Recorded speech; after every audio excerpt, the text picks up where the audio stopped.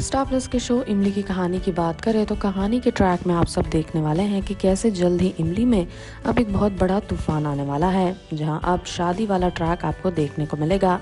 और ऐसे में कहा जा रहा है कि शादी के ट्रैक में आपको काफ़ी सारे ट्विस्ट एंड टर्न्स भी देखने को मिलेंगे, जिसका आप इंतज़ार नहीं कर रहे हैं। तो अब हम आपको बता देते हैं कि शादी से पहले ही आर्यन खुलासा कर देगा आर्यन के सामने कि कहानी के ट्रैक में वो क्या चाहता है? अब ऐसे में आप सबको हम जानकारी दें कि आर्यन जब बताएगा इमली को तो इमली अब बहुत ज़्यादा परेशान हो जाएगी। अब देखना ये मज़ेदार होगा कि आखिर और क्या क्या होगा स्टोरी में जब आर्यन और इमली दोनों शादी की बात करेंगे। जानने के लिए आप बने रहिए हमारे साथ।